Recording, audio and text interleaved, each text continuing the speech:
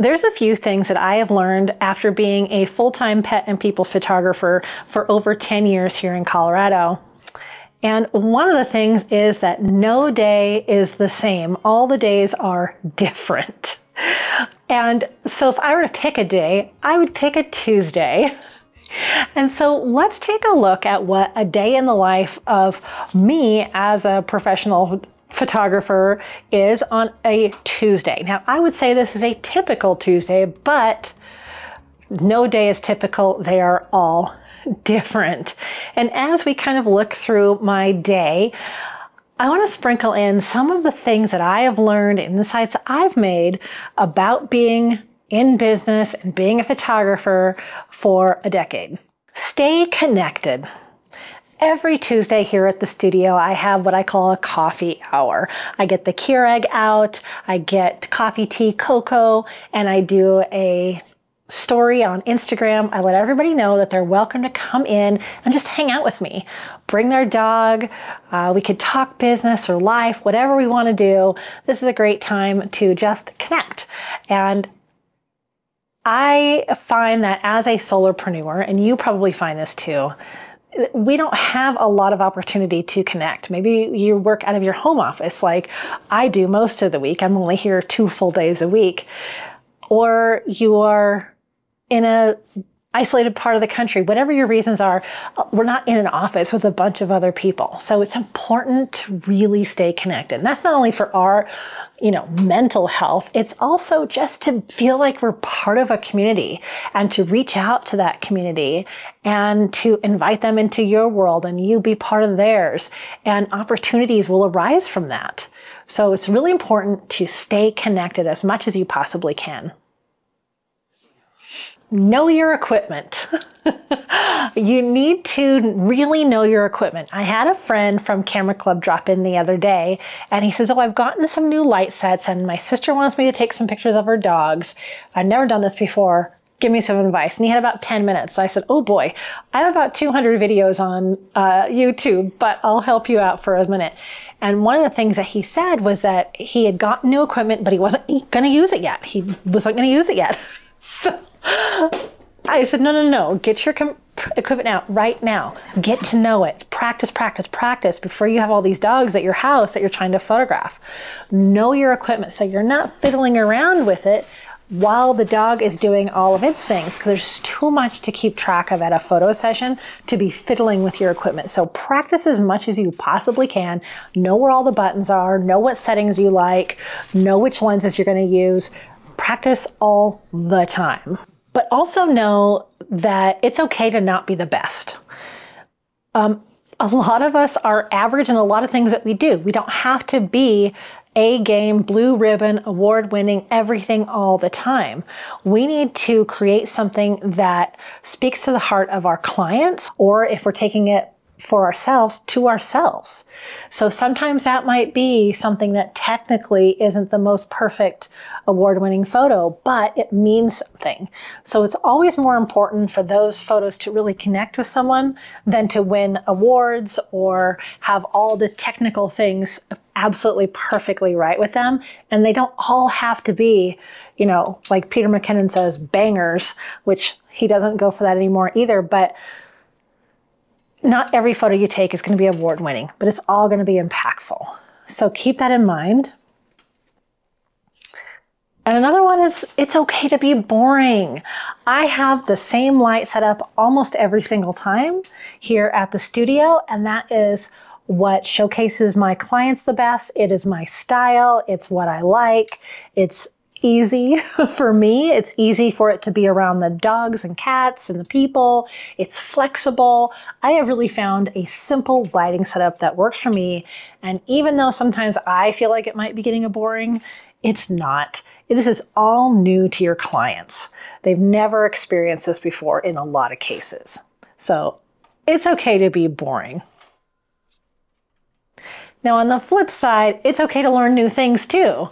Uh, uh, but go out and practice and learn that, and maybe do that as a model call or a personal project before you integrate it into your studio. But there's always kind of this is your boring and this is your creative side. So figure out where those two things can be fulfilled. If you're a business owner, commit to the admin work. Just commit to it.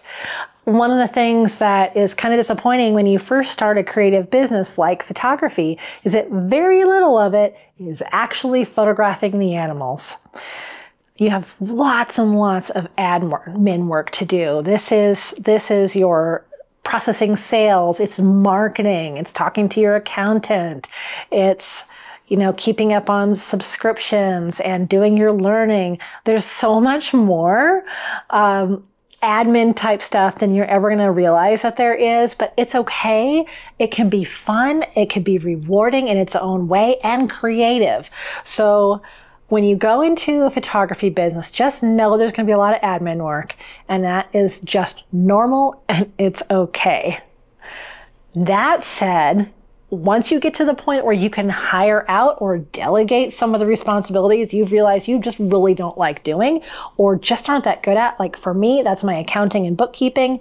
That was the first person I hired was that person because I was just not getting it right and it was causing me more trouble trying to fix my mistakes. So even though there is admin work, at some point you'll be able to hire out for some of it. And along those lines, get help with anything that you might need help with. There's a lot of ways that you could use help that you may not even be thinking of. So for instance, I have an assistant, Frank, always comes with me to my bigger photo sessions. And that has been amazing and very affordable. I was able to build that right into the price I was already presenting to my clients. It, there might be other things like my sister is so amazing, Bree. She comes out and helps me with all kinds of things. And again, it might be an accountant. It could be my editor. So, or it could be, you know, being in a community like Pro Pet Photog. So figure out where you can use help and it's okay to ask for it. Most businesses can't sustain on just one person, no matter what they say. There are other people helping in the background. Another thing is to not be disappointed in low sales. So on this particular Tuesday, I had two sales meetings and they were both drastically under what I aim for as my average. And that's just transparent truth. And it happens. It totally happens. It's not a reflection on you as a person or as a business person. An average is an average, right? It is taking your highs, it is taking your lows and dividing it by how many you did. So last week or you know this week when I was filming this Tuesday day in the life, the day before I had a double my average sale, but the day that of filming, I had two sales that were below average. So they all balanced out. So just know that sometimes that's going to happen. I had a client that her dog needed major surgery and her budget, of course, had to go to her dog. We have plans for her to order a bigger print in the new year. And that's okay. That's okay. So try not to beat yourself up when you get a sale that's lower than you really expected. Just keep moving forward and use that as a a learning experience. So for me, it made me realize that there are a couple of things on my price list that I didn't want anymore. And then there was one thing on my price list I needed to add back in. And so kind of take a look at it and say, what could have made this better? And what was out of my control? As far as sales goes, that's just one tiny piece of advice I have for you there. Another thing that I have really learned is to be flexible. And in that, I mean in what you are able to offer to your clients.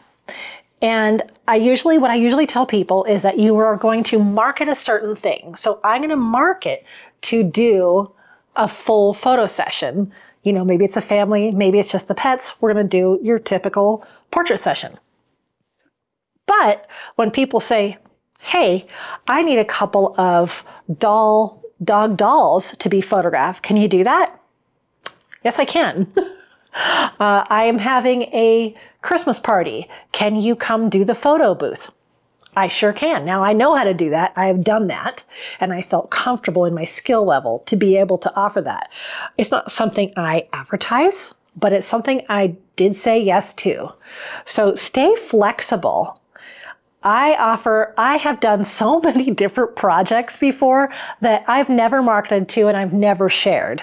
But it was a fun experience for me to learn, or it was something that I said, no, okay, I tried it and I don't want to do it. and just to be able to fill, fulfill the needs of your clients. So on this particular day, I did photograph some dog dolls uh, because they needed that for marketing. And this is an ongoing client that I have that I do all kinds of other photography for. So I said, of course, yeah, bring them in. We'll have fun. And we did. Except that sometimes things are going to be a mess. And I don't just mean dog hair on everything. That's kind of a given. But sometimes it's just a mess. I had a photo session um, a few days before filming this video, and I had just kind of brought everything in and dropped it on the floor. I was so tired that I knew I would just get to it on the next time I was in the studio. I didn't have any clients booked, and I would get to it. And that was okay. It was okay to just leave that in a stack for a couple of days. Sometimes it's going to be a mess when we, you know, threw a the grand opening party. There was stuff everywhere. And one thing that I really love, like when I clean out my office, when I do anything, uh, this kind of like making a mess, I feel like that's the the height of creativity. Wow, I'm cleaning things out, I'm organizing, I'm seeing what I have. This big mess means I'm making big progress. So it could be in a physical sense, it could be in a, a mental sense, it could be a data sense. Sometimes things are a mess, and that's okay. Make boundaries. I either bring a lunch or I get tacos next door, but I make sure they take a lunch break every single day. And I know there's a lot of people that don't do that just because they're too busy, but you got to take care of yourself. If you're not getting the energy intake that you need, you can't possibly output energy for any of your projects. So set boundaries. Make sure you have a lunch time. Make you have a starting time and ending time. A big one for me is I will not edit until two o'clock in the morning. I see that glorified online so much like, oh, it's editing season. It's 2 a.m. and I'm editing your photos. No, please don't do that. You need to set boundaries. That is my personal time does that mean like maybe I'll work a little bit on another day or you know, I'll move it around, but I make sure that I have a good amount of time to eat my meals with my family or when I'm here at work or take the dog for a walk every day or I don't take business calls after a certain time or these are the days that I do these things for my clients. Since I'm here in the studio on Tuesdays and Fridays, that's when we do studio sessions. That's when we do sales meeting. That's when we do consultations. Anything that can be done in the studio, those those two days are what we book first. So make sure you're taking care of yourself and you're setting boundaries. People will actually appreciate that. Um, set quality standards. Well, I said you don't have to be the best photographer, but when you deliver their order, make sure it is in tip-top shape. Whenever I get a order in, I painstakingly open the whole thing. And with my lab, there is a lot of packaging. So make sure you have a clear area. Make sure any tape isn't anywhere near the prints. Make sure you take it out of all the packaging. Look at it and make sure it's flat and there's no bubbles or scratches or anything that on the print or on the frame or on the backing, there's no holes. All of the hanging hardware is there. The colors and the exposure look good on the prints. Make sure you have a quality inspection check on everything that you're sending out the door. And that's digitals included. So depending on what size digital you provide, is there, did you do any bit of cleanup that you said that you would do? Did you take away anything distracting from the image? Is it cropped properly? How is the noise level? So just really make sure that when you hand this precious piece of art to them, that it is exactly what you said you'd deliver. I haven't been very good at this lately, but send cards. Um, I my system is supposed to be where I send a follow up card to everyone. Thank you so much for your order. I loved hanging out with you and your pets, and um, it was just a lovely time on and on, right? So a card. And, but those are good to have at every session, but also sympathy cards. So the prints that I unpacked that day were from a dog that ha- passed away two weeks after our session. And we knew this was her bucket list photo session, but it still happened so quickly. And so I made sure that with her order, she got a sympathy card in with it. Usually I give a little packet of treats, but that's the only dog that they had. So please try to do those personal touches for people. Send them a card or slip it into their order. At your photo sessions, always be encouraging. Always tell them how great they're doing. Never say, Ooh, don't do that. Ooh, never mind. I didn't like that pose. Just say, Oh, okay, well, we tried that. I have another idea. Let's try this next. Don't ever make a weird face when you look at the back of your camera and just kind of keep talking. Keep the keep the energy up as far as positivity. You're doing great. The dog's doing great. This is going exactly how I pictured, especially when it's chaotic, because that is how sessions are. But they're very, very embarrassed and they're not sure what, how this is supposed to go. And everybody thinks their, their animal's kind of misbehaving in some way or the other. I always reassure them all the time. The dog is doing great. This is exactly what dogs do. I don't expect any different. So it's fine. So I try to put people at ease during the whole thing. And if I have people in the photos, you're looking amazing. That's a model smile. All right, keep that look. Awesome, awesome, awesome always be encouraging at your sessions. Obviously, you're going to be positive to people all the time, but especially at the sessions, that's the most vulnerable time that you're with them, uh, that they're not sure how to like perform, you know, kind of the where do my hands go. so be encouraging to them and their pets all the time. Collaborate. I told you how every Tuesday I do my coffee meetings, but I go beyond that. I absolutely love collaborating with other businesses. I recently was involved in co hosting a pet based a, a, like a dog pop-up market. So me and a dog trainer that does agility, we had this at her facility. We invited all these other vendors in to set up booths to sell their dog themed gifts and products. It was so fun. I got a chance to meet all of those people.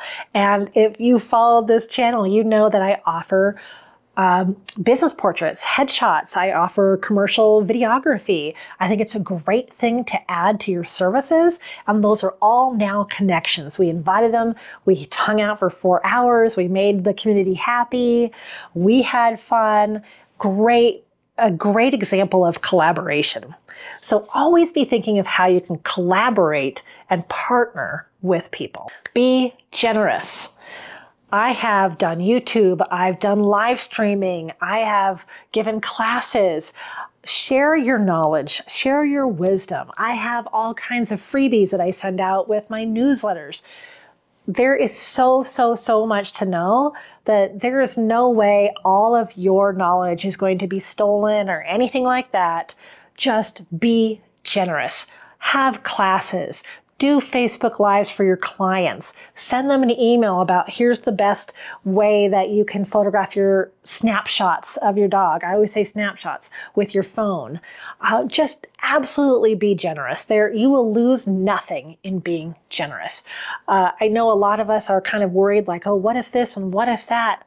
Just you're the owner, right? It all comes down to you. If you're worried about someone stealing the digital images, well, only give them the ones they ordered.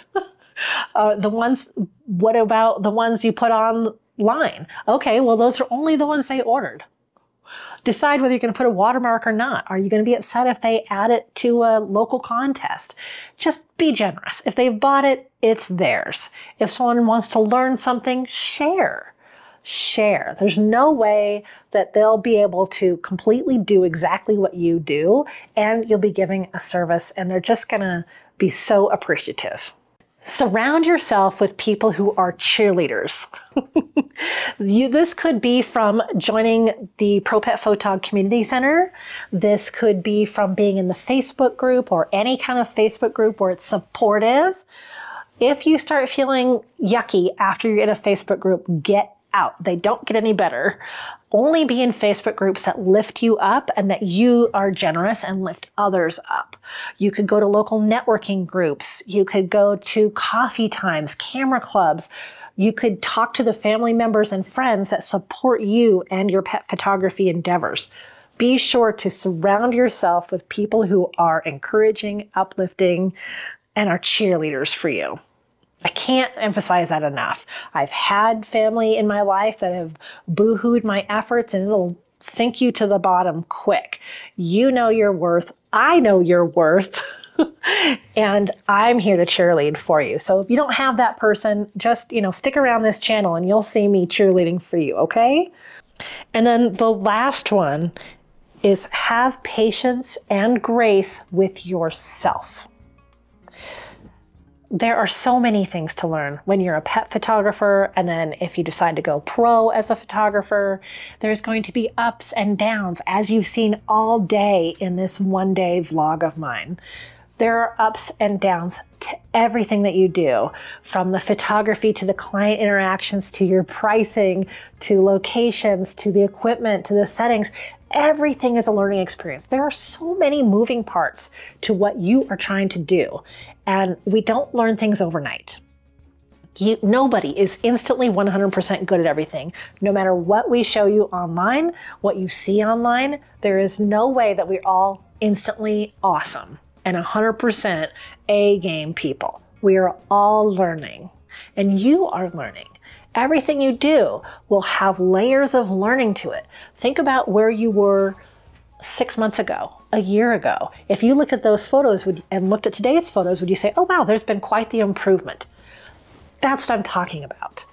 If you have upped your sales over the last year and you look back at last year's sales and go, gosh, I'm doing so much better, count your wins and then give yourself grace when you feel like maybe something didn't go how you wanted it to, or failed, or just fell kind of flat.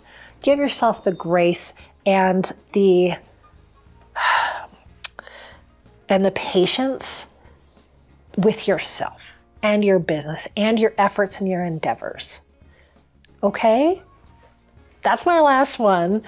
I'm sure I have more information to share with you. Obviously, stick around this channel. You're going to hear all kinds of content like this and otherwise uh, look into propetphotog.com. I have all kinds of things in there and more coming up in the future from free to paid. All right. So I've got a lot of layers in there for you as well. I know you can do it.